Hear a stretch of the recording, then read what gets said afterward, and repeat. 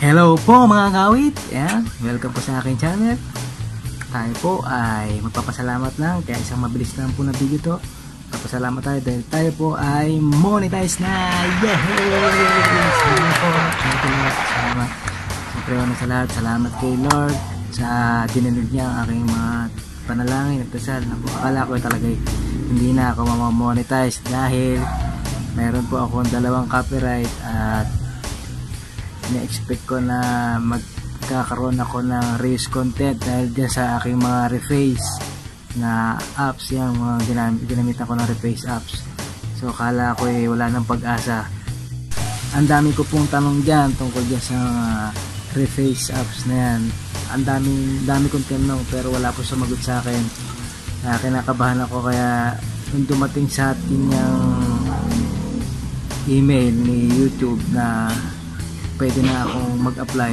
Hindi pa po ako nag-apply kahit na-reach ko na yung aking 1,000 subscriber, more than 1,000 and tsaka yung ating watch hour na kuha na po natin yung mga requirements. Hindi pa po ako nag-apply kasi kinakabahan talaga ako dahil baka ma-reject tayo dahil nga dyan sa inaasahan ko re reuse content yung aking mga reface. Sa naman Diyos, hindi tayo na reject.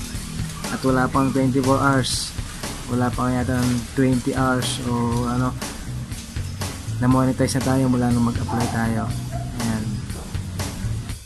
Kaya isama rin po natin sa ating mga dasal at panalangin yung mga mag-check yung mag-review ng ating channel. Syempre sa kanila po nakasalalay yan eh, yung kung mare-reject yung ating channel o makakapasa ba maka-accept pa sa YouTube partnership?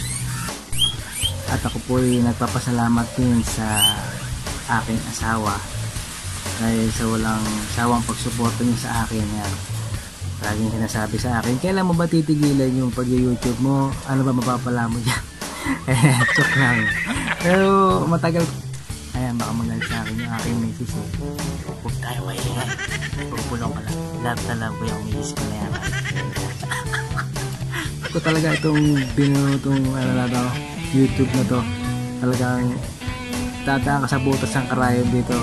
Pero ang sarap para kapag ka na-monetize na para kang munti ka lang ano yung maiiyak ka lang talaga dahil sa hirap ng pinagdaanan mo dito. Pero masaya naman. Kasi gusto mo yung ginagawa mo at alam mo yung pagkakitaan mo at ang plano mo ay makatulong din sa iba. Kung papala rin tayo na makatulong sana isa rin natin dasal din makatulong tayo sa iba yung mga nangangailangan din. Kaya alam naman natin na marami ang walang trabaho kaya sana ay matapos na itong corruption eh itong corrupt eh itong pandemic yan. Kasi para magkatuloy-tuloy na uli ang ating mga trabaho at hindi na mahirapan ang bawat isa. Eh, kasi nga naman gawa ka ng gawa ng video. Uh, trabaho ka ng trabaho dyan wala ka namang kinikita ano ba napapala mo dyan di ba?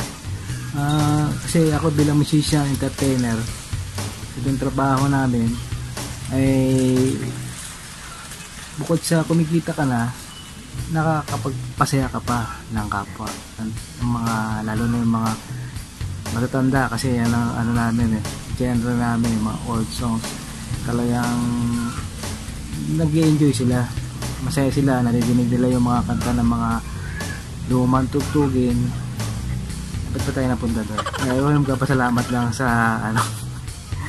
Eh, kaya sa mga gusto po maging youtuber maging vlogger uh, ihanda nyo na po ang inyong mga katawan at sigurado magpupuyat din kayo at dadaan kayo sa butas ng karayo pero napakasarap po masaya pagkatapos po nyan kahit na wala pa kayo sahod. Wala pa ako sahod. Uh, nakita ko zero pa yung aking ano eh flat pa yung aking revenue. Pero kayo na umaga nagkaroon siya ng 0.12 dollar. Salamat naman gumalaw siya after 2 days pangalawang araw ko pa lang naman kaya salamat kaya sa mga gusto maging youtuber talagang kung gusto nyo to talagang mag-enjoy mag po kayo Ngayon, kung hindi nyo gusto, hindi talaga kayo mag-enjoy. Ganun lang yun? Kasi dito, pwede kang, ano eh, dalawa lang to. Kung pwede ka upload ka lang na upload, kung ano yung mga nangyayari sa buhay mo, pwede mo i-upload. Susundan ng tao yun. So, magkakaroon ka ng views, kikita ka. Meron din namang gagandahan yung video mo, o talagang tatrabahuhin mo, yun, kikita ka rin. Maaaring mas malaki. Ano? Kasi ako sa aking mga rephrase, sa mga inaasahan kong ano, reused content, kumbaga, talagang ano na ako eh, sabi ko wala na to, wala na pag-asa to kasi ano eh, maaring reused content. Kasi dami ko ng pinagtanungan, hindi naman nila nasagot yung aking katanungan. Kaya gagawa ako ng video to, sasagutin ko to kung paano ko nalusutan to. Meron po tayong dalawang copyright claim at puro nakita nyo naman yung mga video ko. Hinaluan ka ng mga repasia kasi dyan tayo minsan nag-trending eh. Nakakuha tayo ng mga mataas na views. So pasok pa rin siya. Kaya sa mga nagtatanong kung ang repage po ba ay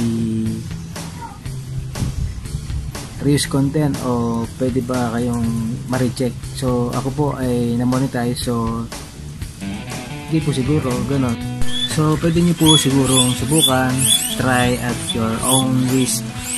Kasi kesa maghintay tayo ng matagal o i-delete natin yung ating mga video na hindi natin natusubukan muna.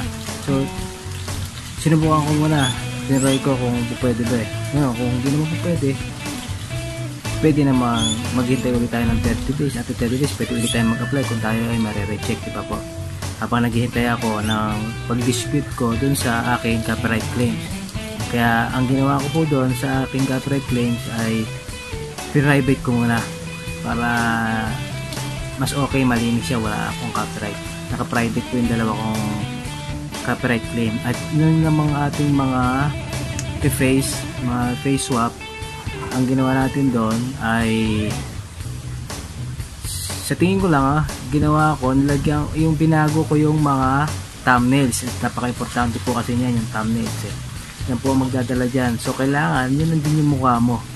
So, ginamit ko naman dyan yung sarili kong mukha. Hindi ko naman ginamit yung mukha ng ibang tao. So, hindi kagaya ng iba, ginagamit nila yung ibang tao, yung mga sikat na artista. Kaya, lumaki nga yung ano nila, nag-trending. So, kaya lang, hindi naman sila mamomonetize sa video na yan. Maaring ganun. Sa akin, yung mukha ko naman yung nilagay ko doon baka sakali na ako na pwede so sinubukan ko nakapasa naman po na uh, sa awa ng Diyos naka, uh, disclaimer lang po ano hindi tayo talagang professional sa mga ganun uh, ito base lang po sa aking mga mga nangyari lang po sa akin sa kaya isi-share ko lang din po sa inyo so baka makatulong kaya subukan niyo po kaya kung ano po yung nandiyan sa aking channel, maaring magdagdag pa po tayo. Pero hindi na po siguro tayo magbabawas. Maaring magtuloy ako ng konting mga sundot-sundot na reface yan, mga face swap. Kasi mukhang okay naman eh, di ba? Kasi kung hindi okay yan, hindi yan okay. Yung guitar tutorial, yan. Basta may mga kaugnayan po sa music at entertainment papasok po natin yan sa ating channel tsaka sabi nila konti lang ilagay mo ads kasi medyo mahigpit na si youtube ngayon dahil nagkakaproblema na sa mga ads or maaari may bugs lang gano'n tingin ko hindi naman maglalagay si youtube eh. Hindi siya maglalagay ng mga ads sa mga channel na hindi pa monetize kung may problema sa mga advertiser diba? hindi siya maglalagay ng mga ads doon. So tuloy lang natin. Kung gusto mong maglagay ng sandamakmak na ads dyan bahala ka. Doon bahala doon. Hindi naman ang tao mong problema doon eh. Ikaw baka hindi na rin panoorin yung video mo di ba kasi puro ads na eh kaya kung ano, buwasan mo, di buwasan mo at sa mga maiksing video, wala naman pong problema yan kung maiksi ang, ang mga video nyo. Ako yung mga kanta ko siguro may mga 3 minutes, 4 minutes lang po yan. Okay lang naman yan. Kasi kung kailangan daw mahaba yung video mo, kailangan more than 8 minutes para malagyan mo ng maraming ads. So, sa akin maiksi lang pero sana humaba po ito para mas maganda, di ba? At syempre, mabayaran natin yung ating mga utang, yung mga pinagkakautangan ko. Ayan, pasensya mo na. At pinaghahandaan na po natin yan. ayun sa mga binayaran ko, ayan, yun ako namumupunay po yung mga ano, yung iba, yung mga natira, alam ko, mga mahabang pasensya nyo, kaya pasensya na muna po at palang araw mababayaran ko rin po kayo at siguro bago ko muna kayo bayaran ay alam ko namang mahabang pasensya nyo kahit sabihin nyo na ibinigay nyo na yun.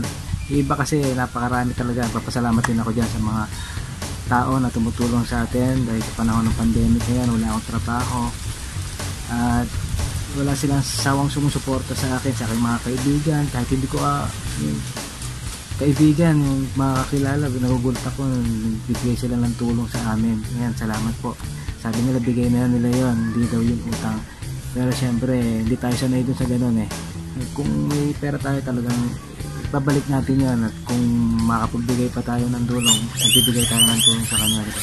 parang ganun. Kaya pasensya mo na po. Sana ay mapagpasensya niyo po ako.